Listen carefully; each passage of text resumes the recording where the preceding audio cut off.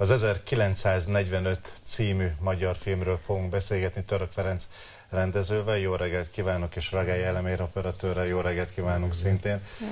Nehéz helyzetben vagyok, és olyan nehéz ilyenkor az alkotókkal beszélgetni, úgy, hogy én bevallom most férfiasan, én nem láttam még a filmet, de, de most az a jó, csinálunk. De igen, de az a jó, hogy viszont az Emilia már, igen.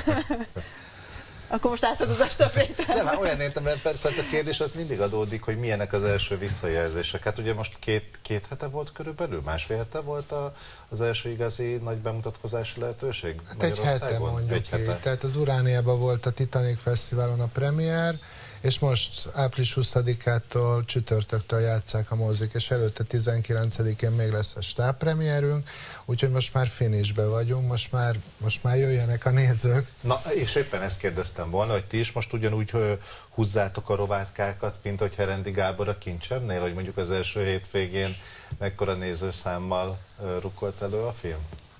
Hát ez, az első hétvége az nagyon-nagyon fontos minden film életében nagyon vacak idő lesz ezen a héten, aminek mi most kivételesen örülünk, mert az kedvez a mozilátogató. Kedvez a mozilátogató. Igen, a statisztikáknak. Igen. Ugye azért annyit el lehet mondani a filmről, ami minden tartalmismertetésben szerepel, hogy a, a második világháború utáni első nyáron játszódik egy magyarországi faluban fekete-fehér film, ahol mindenki a jegyzőfiának az esküvőjére készül, de két váratlan látogató jön a faluba, két zsidó férfi, akik csak jönnek, és jönnek, és jönnek, és egy doboz, vagy egy ládát hoznak, és nem tudjuk, hogy, hogy mi célral látogatnak a faluba, és én azt olvastam, olvastam, hogy Ragály Elemér emlékszik erre a hangulatra, mert hogy akkor hat éves fiúként maga is egy kis faluban élt, és hogy erről sokat beszélgettek, hogy milyen volt akkoriban az atmoszféra? Igen, hát ez, ez részben igaz, csak nem falun éltem, hanem a háború után, mint annyi csontsovány gyereket, legatyásodott gyereket a Magyar Vörös Kereszt uh-huh.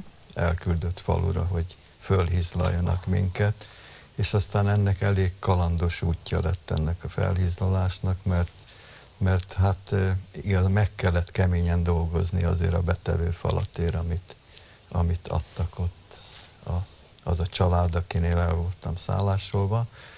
A legemlékezetesebb pillanata az volt, amikor leengedtek engem egy elapadt kútba, azért, hogy az aljáról kiszedjem az iszapot.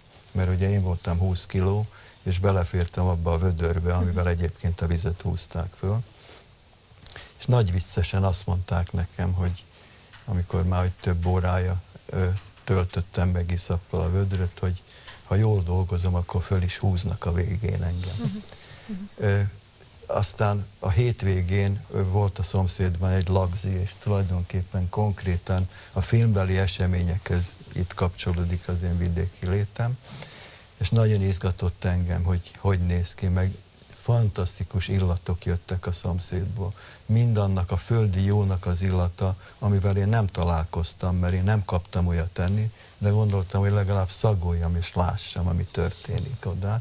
És fölmásztam a kerítésre, egy nagy kőkerítés volt, és szabályosan beestem az esküvőbe, átestem a szomszédba, betörtem a fejemet, és a legnagyobb megkönnyebbülésemre, miután a Sümegi kórházban bebugyoláltak, lehívták apámat, és én halál boldogan utaztam haza, és így ért véget az én vidéki életem. Az a, az a hangulat akkor már átjött, amit a filmen, hát, hogy a hogy németek nem, ezek, már nem, az oroszok nem, még nem?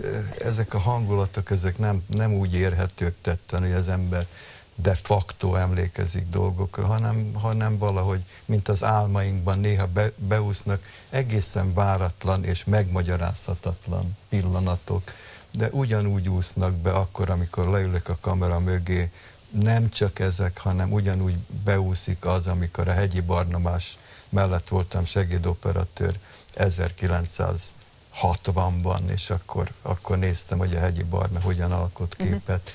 meg ahogy néztem a körhintát, meg ahogy néztem a betévett Európát. Szóval ezek, ezek nem tetten érhető pillanatok, de valahogy ott vannak azért benne ebben a filmben uh-huh. is. Pár kritikát elolvastam a filmmel kapcsolatban, és azt kell mondjam, hogy mindegyik kritika egyformán, egyöntetően méltatja, dicséri a filmet, mindenféle szempontból, szereplők, operatőr, rendező szempontjából. hogyha már így rád nézek, akkor ugye neked is irányul a kérdés, hogy mint rendező, ugye az összes filmes alkotásod között tulajdonképpen például az Indexnek az újságírója ezt tartja a legjobb alkotásodnak. Te belülről ezt hogyan élted meg? A legkomolyabb film, tehát azért hmm. ez egy kosztümös történelmi film, és itt a Rudolf Péter a főszereplő, és egy gonoszt játszik, tehát azért itt azért egy speciális film a pályámon, és azért nagy rizikó volt. Tehát azért ez egy nagyon kényes korszakot érint, tehát a, arról szól tulajdonképpen, hogy egy faluban a deportálások után újra kezdődne az élet, de megérkezik két zsidó túlélő, és mindenki elkezdi félteni a már megszerzett vagyonát, és egy krimi alakul ki. Tehát azért ez egy ne- nehéz téma, és ez egy szembesítős film, és ez, ez nem csak az áldozatok szempontjából mutatja be a holokausztot, hanem a Hát igen, a kollaboránsok vagy a bűnösök szemszögét is megmutatja, ezért elég provokatív a szemlélete, és hát vitákat fog ez gerjeszteni, úgyhogy az, azért is nagyon örülünk a külföldi, meg magyar pozitív kritikáknak, ami a színészeket, vagy az operatőrt, vagy a sztorit e, e, ünnepli, mert, mert azért mi félünk ám egy kicsit, tehát hogy mondjam, hogy tartunk attól, hogy, hogy egy, egy rendező vagy egy stáb ilyenkor úgy, úgy bizonytalan, hogy, hogy, hogy ezt most jól csinálta vagy ez elég kemény volt-e, úgyhogy reménykedünk, hogy a néző... Hát, majd meglátjuk. A, a, gondolom, akik látták a filmet, vagy akik csak a tízert, a bemutatót, vagy a promóját látták a filmnek, azokban egyértelműen felmerül az első kérdés, hogy miért volt arra szükség, hogy ez egy fekete-fehér film legyen? Hát erről sok szó esett közöttünk az előkészítés során. Rengeteg tesztet csináltunk, mm. hogy redukált színekkel, meg, meg a redukáció az azt jelenti, hogy vagy vissza vannak véve vissza a színek? vannak véve, igen. És aztán rájöttünk, hogy, hogy mindez nem jó. Ennek fekete-fehérnek kell lenni. Ez egy dráma, és jobban drámát ábrázolni nem lehet, mint hogyha ez a történet fekete-fehér. Másfajta feldolgozást más. igényel egyébként operatőri munkából? Hát tulajdonképpen kicsit másképp kell világítani, és meg akartuk idézni, egy csöppet meg akartuk idézni azokat a klasszikus magyar filmeket, amik ebben az időszakban készültek, megtöltve természetesen a a mai szemünkkel és a mai ábrázolásmóddal. Ugye Rudolf Péterről már sokat beszéltünk, meg olvastam is, hogy ő maga is nagyon meghatódott, amikor ö, felkérte erre a szerepre, és hogy nagyon jól érezte magát a forgatáson, viszont a két zsidó ö, figura, ugye Nagy Marcel, akit a sorstalanságból ismerünk, és Angelus Iván, aki társproducer is csak nem élhette meg a bemutatót. Miért pont ők? Angelus Sziván egy táncművész, és az a, a, a másik Angelus Sziván, aki sajnos meghalt, ő, ő volt a producer, csak egy névazonosságról van szó. Tehát a, a táncművész és az operatőr játsza ezt a két mhm. hallgatag figurát, és nem azért is nem olyan profi színészekkel, mert nincsen igazából dialógusuk, viszont a mozgásuk nagyon fontos. És Tehát, igen, arc. és hogy szinte lebegnek. De olyan... egyértelmű volt, hogy ők azonnal? Vagy sokat, vagy erre hát a Nagy Marci az operatőr szakon a diákon volt, és amikor úgy elképzeltem, akkor nagyon ő jutott először Aha. eszembe, és nem is nagyon kellett castingolni, mert ráért, és volt kedve.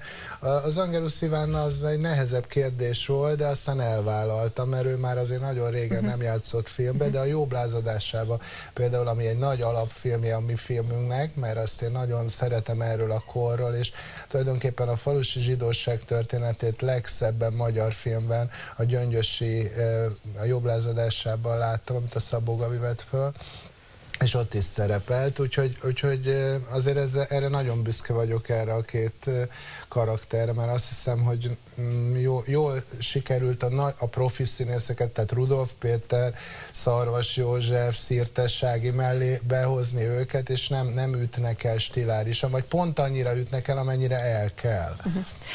Az tényleg egyébként elképesztő a filmben, hogy ö, hányféle reakció van arra, hogy akkor a zsidó vagyonnal ki mit kezd, és van, van, aki azt mondja, hogy hát neki a gyerekeit még fel kell nevelni, és fel sem merül az, hogyha a zsidók azért jönnek vissza, hogy ezt visszavegyék, akkor ő visszaadja, van olyan, aki viszont megőrzi ezt a vagyont, amit rábíztak. Ugye az hangsúlyos, hogy a közönség találkozókkal mindig lehet beszélgetni. Mik jönnek vissza? ebben a dilemmá, ezzel a dilemmával kapcsolatban? Hát Van, aki már... saját sztorit is elmer Nagyon sokan, esetleg? igen, tehát a közönség találkozók általában azzal eh, folytatódnak úgy 10-20 perc után, hogy mindenki elkezdi mesélni a családi történetét.